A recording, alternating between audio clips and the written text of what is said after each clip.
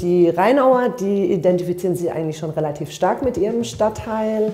Es gibt äh, viele alteingesessene Menschen, die hier tatsächlich auch geboren wurden. Aber wir haben auch eine sehr hohe Zuzugsrate.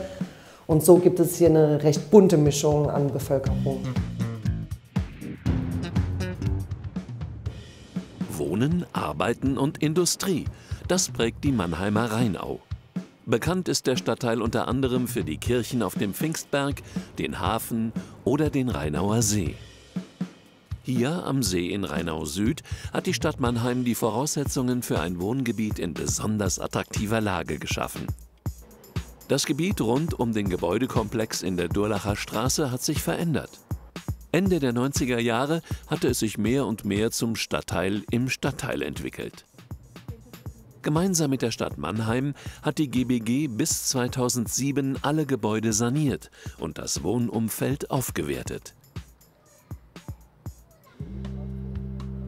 Das Nachbarschaftshaus auf der Rheinau hat ebenfalls vom Programm Die soziale Stadt profitiert. 1962 eröffnete das Nachbarschaftshaus und ist seither das Zentrum der Jugendarbeit im Stadtteil.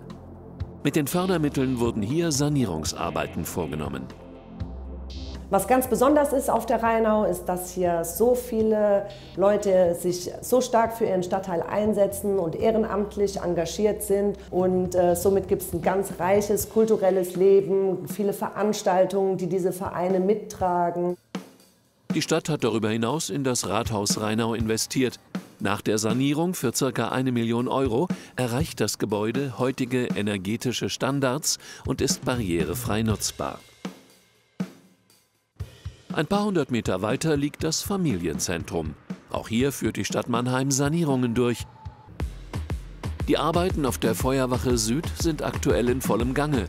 Ein Ausschuss des Gemeinderats hat für die dortige Sanierung mehr als 2,3 Millionen Euro genehmigt. So wird sichergestellt, dass der Betrieb der Feuerwache Süd weiterhin aufrechterhalten wird. Die Relaisstraße wurde bereits Anfang der 2000er Jahre umgestaltet. Dadurch wurde sie in ihrer Funktion als zentrale Durchgangsstraße und Einkaufsmeile erheblich verbessert. 2018 hat die RNV GmbH die Endschleife Rheinau zum Kompaktbahnhof umgestaltet. Dadurch wurde bereits das Ende der Relaisstraße modernisiert. Nun sollen auch die beiden weiteren Plätze entlang dieser Straße umgestaltet werden. Am Karlsplatz planen sowohl die RNV als auch die Stadt Mannheim Veränderungen. Es soll attraktiver, vor allem aber barrierefrei und sicherer für alle Verkehrsteilnehmer werden. Auch der Marktplatz wird umgestaltet. Die Bürgerinnen und Bürger konnten sich bei den Planungen einbringen. Er soll künftig ein Treffpunkt der Rheinauer werden und zum Verweilen einladen.